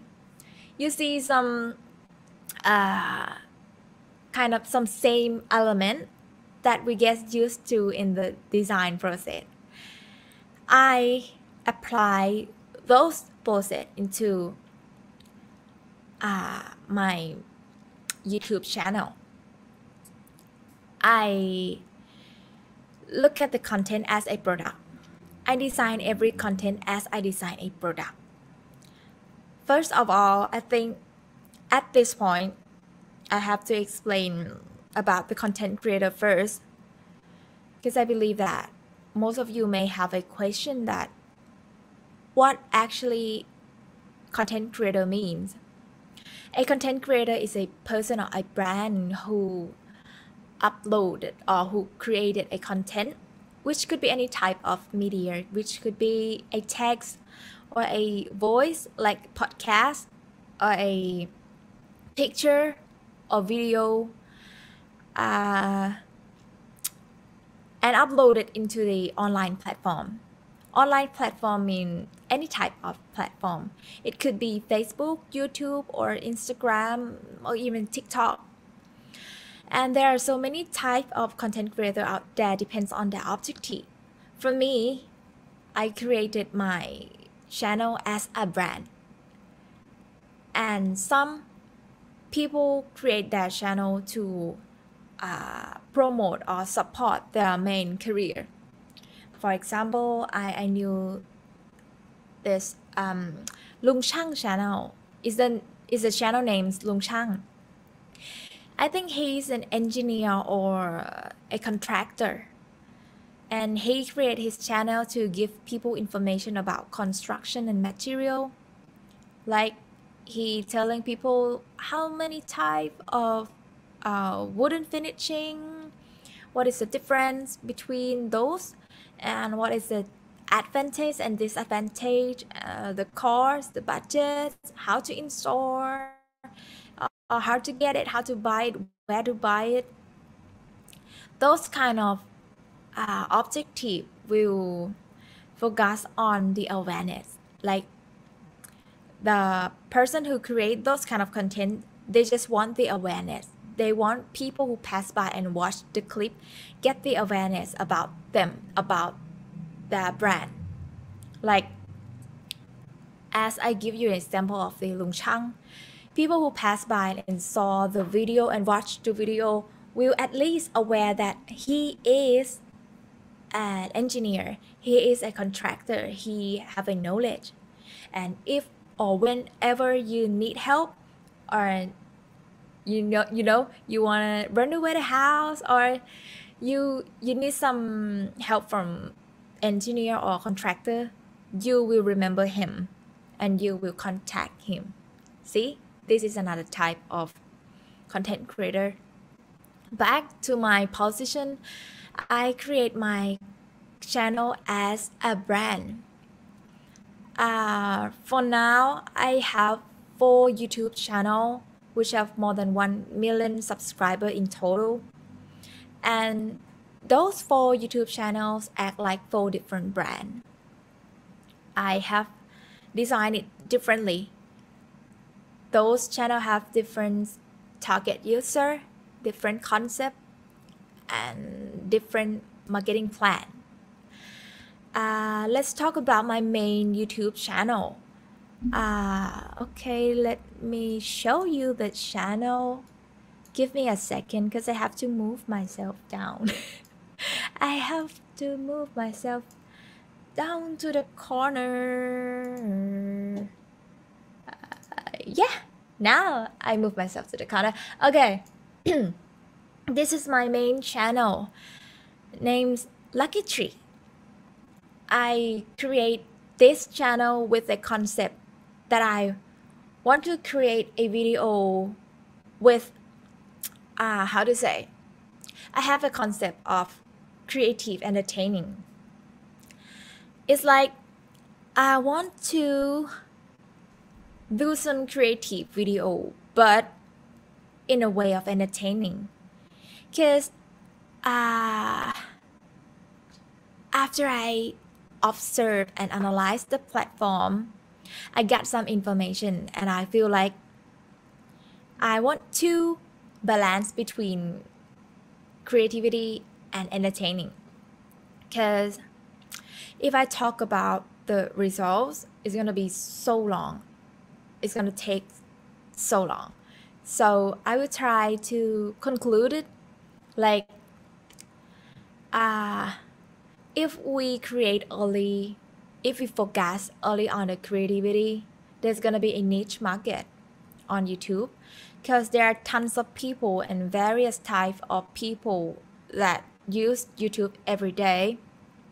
And there's only some people that interested on creativity design and design or even art. If i aim for those topic my channel will become a niche channel. And you know if you want to grow or if you want to uh, if you want to grow a brand if you want to grow a youtube channel you need to concern about the view and the amounts of audience as well. And because of that i think i can i think like i cannot go on with purely creativity like purely creative content because it's gonna be too niche. So i try to put some math on. People love entertaining. Every age all age love entertaining. So i try to combine creativity with entertaining. I try to explain design and creative in the entertaining way with joy and funny environment uh, so in the in this channel, I have so many design that I try to communicate it. And like for example this one you see? Gayakat. I I designed the content as a prank because prank is one of the entertaining content that people like. And I want to design a food. I want to put some creativity on it so I designed a prank like uh, I created the menu that looked like a chicken, a fried chicken, but there is no chicken inside. It's a hollow chicken. See, I designed something. I put some creativity on it, but in the mood and tone of entertaining. And people really like it. Let's talk about some of my favorite content. oh, sorry about the picture. oh my god, what is that? Uh, this one. Okay, let's uh, start with. Uh, bu- bu- bu- bu- bu- okay, this is that clip. This is one of my favorite, my favorite content. ข้าวเหนียวหมูปิ้งแบบใหม่ I designed the new type, the new generation of khao niao mu ping. We all know what is khao niao mu ping, right? Uh, I I start this project with uh, my boyfriend. He's he also graduated from industrial design. Uh, we think like we have an idea to develop and design the new generation of ข้าวเหนียวหมูปิ้ง because we all get used to with ข้าวเหนียวหมูปิ้ง and I feel like many people perceive it so old and uh, like uh, it's not trendy food. So we have an idea that what if we can design ข้าวเหนียวหมูปิ้ง and turn them into a trendy food? We did so many research behind the scene. Because you know we cannot put every we cannot show every design process on the video because it's gonna i have to balance between creativity and entertaining. We cannot show every process on the design because it's gonna be too boring for for the people who don't understand the design process. So i did the research part behind the scene we did brainstorm about the value of khao niao mu ping. And we found out that the inside and the value of khao niao mu ping is a stick. Mu ping needs to be on a stick. Without the stick, it's not khao niao mu ping. And, and we also observed about the user behavior. Many people love to eat khao niao mu ping with one hand and doing something else with another hand. So we combine both khao niao and mu in one stick. Let's show. Um, maybe this part. Yeah. See, I we designed to combine sticky rice. Uh, we, we designed to combine khao niao and mu in one stick in the shape like corn dog to easily carry with one hand and we also add more fun with it look at that we grilled it on a pan. And another develop is so insane because I want to, you know, uh, add more trendy stuff on it. People love cheese. Cheese become like a trendy food now. So I add some cheese. Oops, oops, oops. Uh, hello, where? Uh, okay. I add some mozzarella cheese inside of the khao niao mu ping and roll it again. And I do deep fried it. I deep fried it. And you know, it tastes so good. It's so, so good. I, I, I, I really want you to try it. This is the outcome. See? Uh, I want to tell people that creative could be fun. It's not a serious thing, you know. Another content that I want to show you is this one. Uh, this one. I created an oven that use sunlight energy to cook food from recycled stuff in my house. I do put some sketching design. I do some sketch design on the video here. Actually, this one is the second design. The first design I designed is in the shape of a diamond and uh, there are some problem happen because the shape is too tall. So the heat is kind of spread around and I want to make it smaller. So I cut off the top part yeah and yeah we do some perspective and after that we make a mock-up we do we do create many model experience. See here some weird shape. Some weird shape open. And you know it's really work it can even bake a cake. We show the design the developing. And and the advertisement appear. Okay what a right time sorry about that here this is the outcome this is how the outcome look like we use everything uh, we use the recycle stuff in the house and see the cake really cook. Look at that. Is does work? It's really work. Yeah, and that is the example of my content. And that's it, my main channel. Uh, actually, I have a hidden objective on that channel.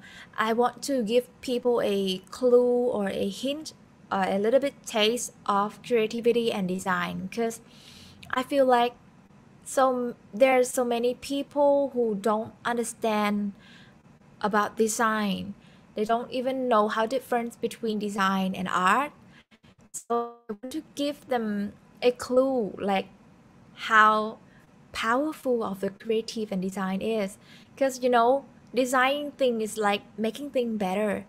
The power of design and power of creativity is so incredible. We can create a better thing because of them. We can use design we can apply design in anything in, in, in any way. Like it's so powerful and i want people to understand and it really works because i got some information uh sorry i got some comment from the audience that they start to feel it they start to curious about P Cheng, how did you oh how how did you come up come up with those new and fresh idea all the time. You upload three, three video a week. How can you keep coming up with some creative idea? What is the process behind? They start to question about it. So that is the reason why I create another channel named Cheng Lugsiga that I try to explain uh, the objective of that channel is I want to explain the work behind my main channel. What is the thinking process behind? I will try to explain it on that channel and also I got so many questions about architecture, about uh, design school. So I want to share some information and share some experience with the student or teenager who wanna who wanna learn in the design school, like share my information and also my experience that I got in the design. What should you do? What you shouldn't do during learning the design? Because I've been there before. I want to share the experience. I did so many mistakes during the time that I in the design school. I I made a lot of mistake and I want to share the experience to, you know, I don't want people to get the same mistake as I did. And I want to share, you know, what I get from the design school, what I got, and how I applied it into my real life. Uh, another thing that I want to tell you people, you student, uh, no matter you're a high school student or architecture student, is don't be too serious and don't scope yourself with the how to say don't fix it. Because you know i used to tell this in my youtube channel. I want to tell you again here that educational learning is like you are seeking for an opportunity. For example you are learning in architecture school. It's like you're seeking another type of opportunity but it doesn't mean that this is your only opportunity. You can apply or you can choose another opportunity if you have. And if you like it you can choose it. It doesn't mean that you graduated from architecture and you have to work as an architect only. No life is so flexible. And also you can apply your design skill that you get from uh, the design school. Like me i graduated from interior architecture.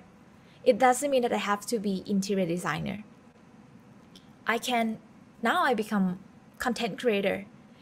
And i'm proud with myself.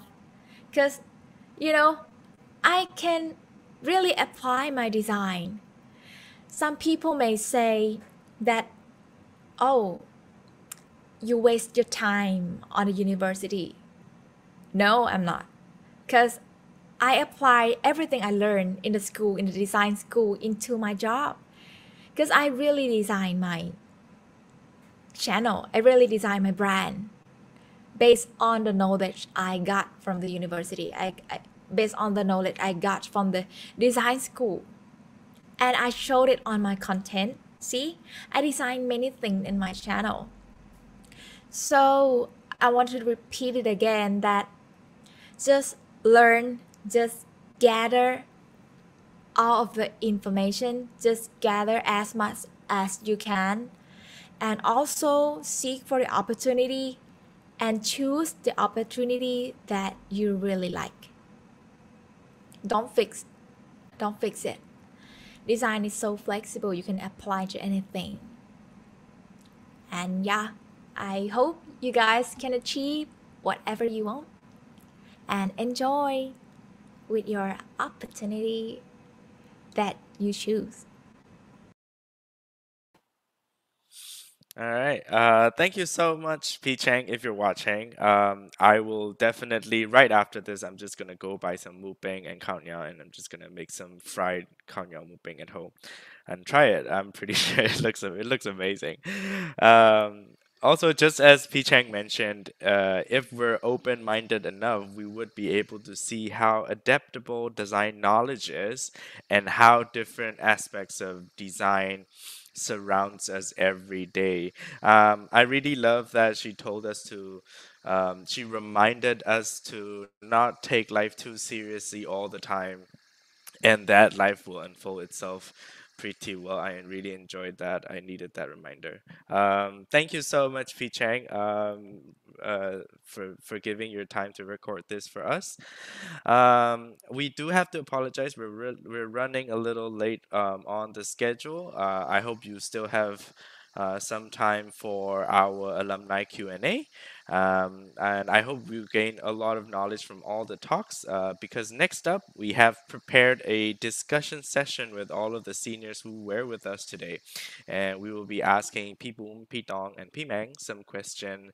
Uh, and if you have any question, please feel free to drop down uh, in the comments. Uh, we will be adding those questions in the panel as much as time allows.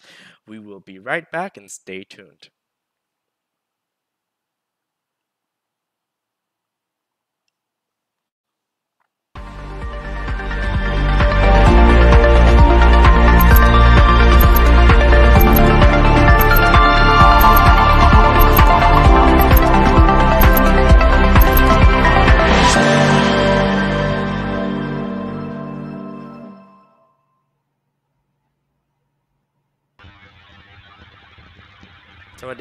welcome back ครับ all right um well how are you feeling um after all this talk great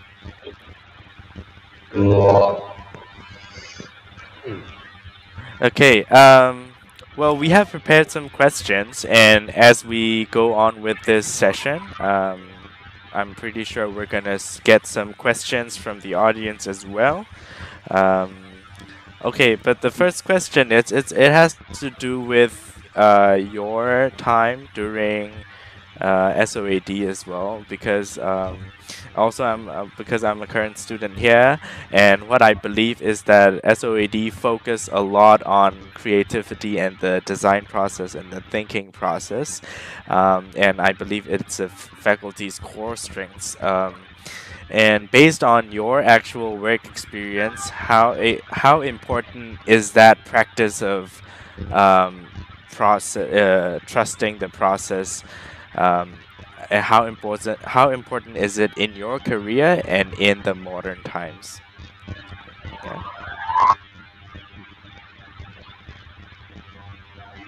Let me start.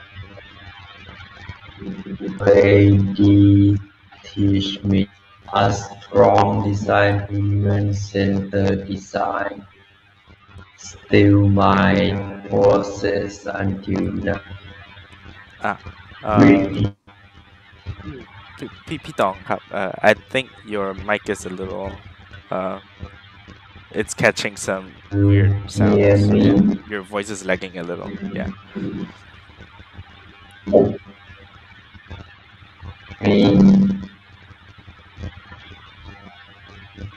is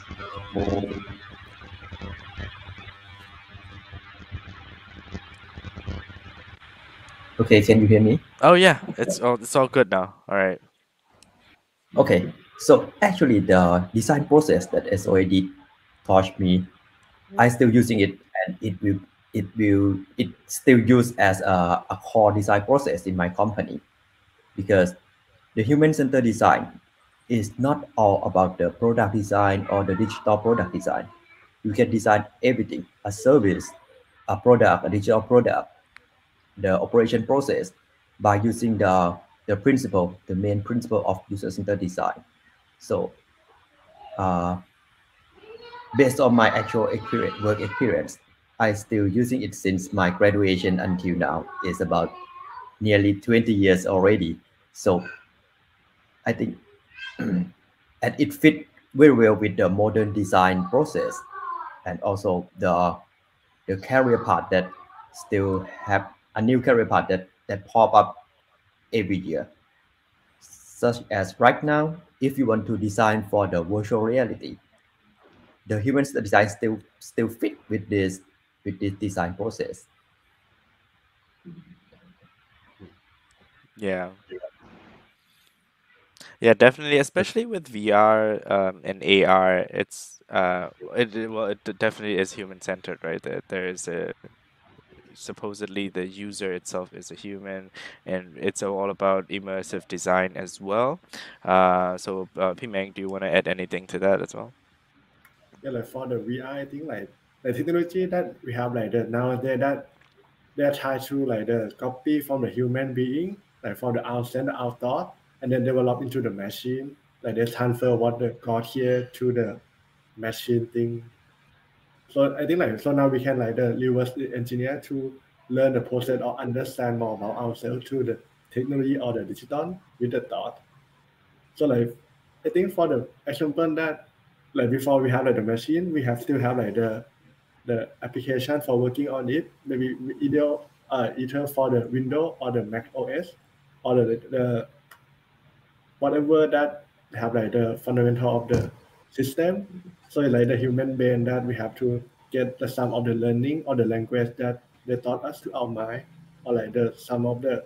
I think it's quite work well with the generative design too.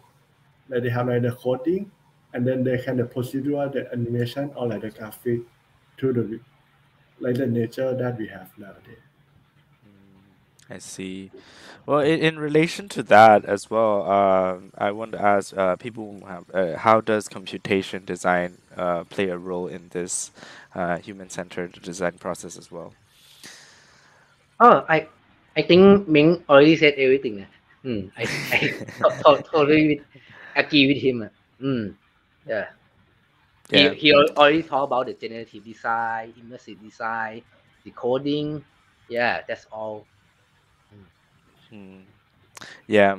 Uh, we have a question from the audience. Um, so the question says, uh, if I want to work in immersive design, what what qualifications do I need? Uh, so I guess this question is for P Meng. Um, so qualifications and skills.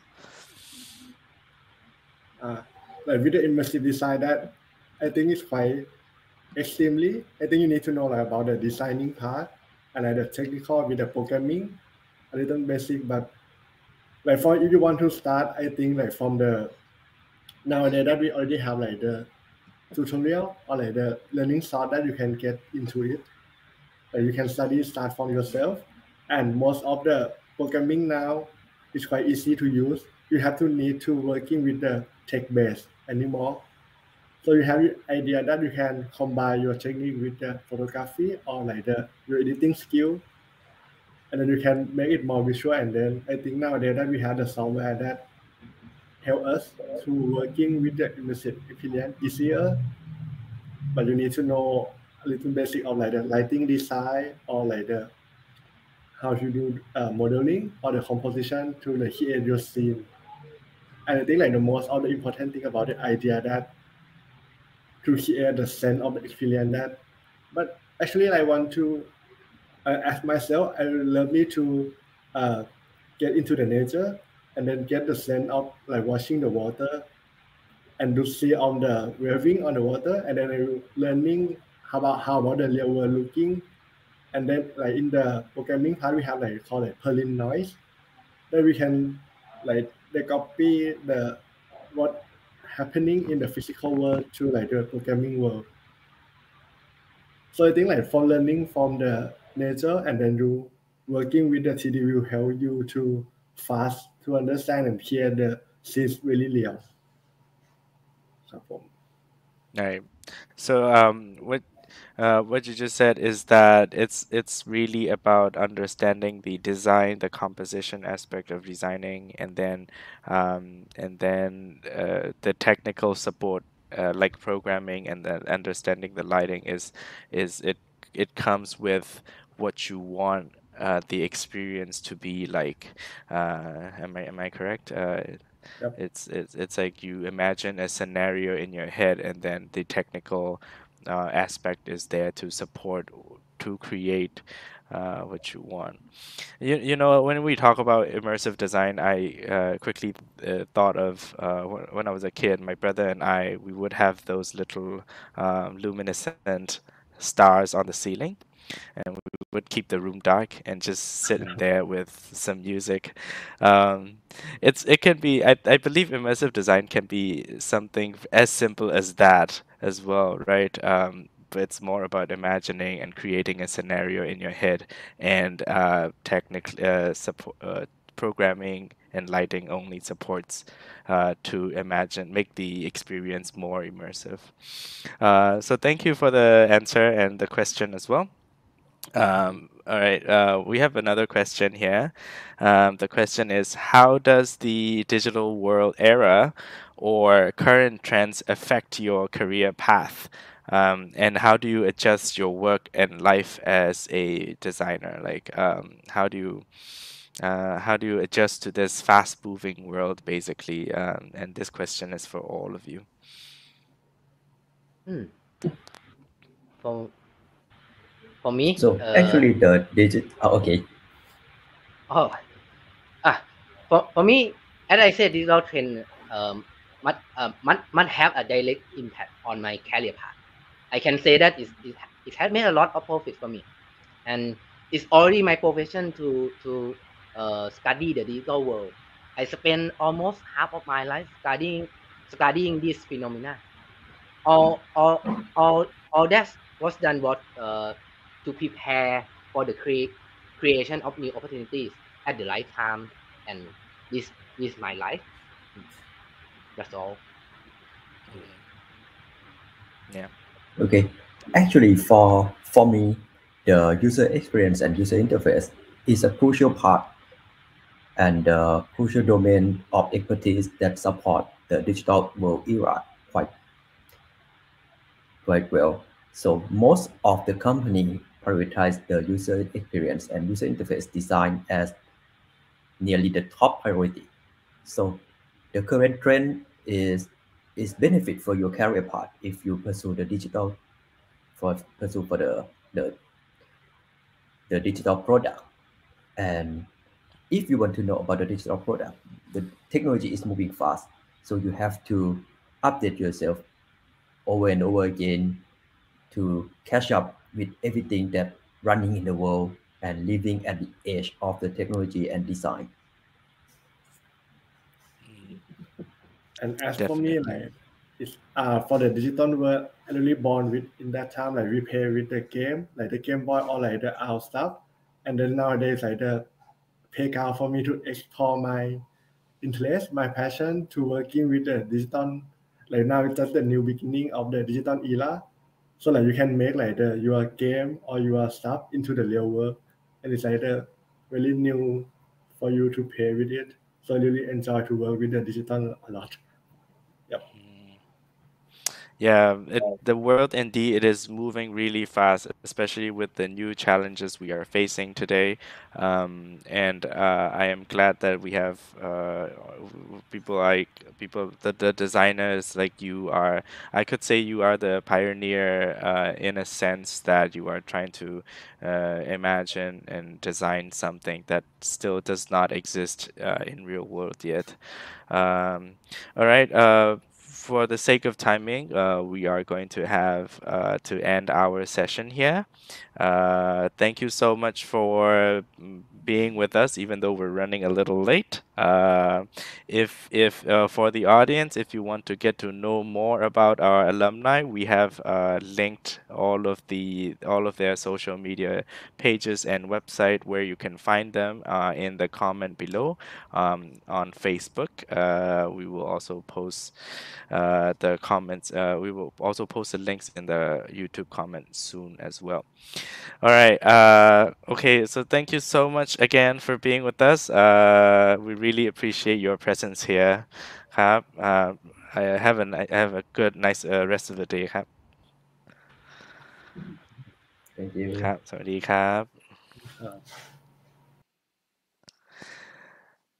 All right. Oh my God, we have learned a lot today, uh, ranging from uh, tech, uh, the collaboration between art and uh, design, uh, and and com- uh, and and AI and AR and VR and a lot of words, uh, and to uh, uh, adapting the design knowledge into something uh, into a, a little bit like social science right? Like what P Cheng mentioned earlier. So uh, i hope you had a really um, thought-provoking uh, morning um, from all the talks. Thank you for taking the time to uh, for the alumni as well. Thank you so much for taking your time to share your stories today. Hopefully, everyone had a good time, gained some knowledge, and found inspiration from our alumni who generously gave our time for us on a Sunday. We believe that hearing about our alumni's work experience is both uh, interesting and useful, or uh, lit, uh, light a spark in you as well. Uh, next up, we hope to see you at the upcoming alumni talk on career path as a designer and entrepreneur. That will be on January 23rd. Um, we have invited P-Boy, the co-founder of Anonym Studio, uh, P-Fon, co-founder of Bangkok Tokyo Architecture, P. Dukdik, the founder of Flow Furnitures, uh, and P Man, the owner of April Pool Day. Uh, and again, it'll be coming up on 23rd of January, next Sunday, um, uh, around the same time as today. So uh, please make sure that you join the event as well.